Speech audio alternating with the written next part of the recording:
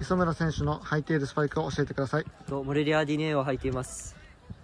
そのスパイクのこだわりについて教えてください。えっとこのスパイクのタッチ感がすごい自分は気に入っていてもう小さい頃からやっぱモレリア履いているんでそういうところはこだわってます。ありがとうございました。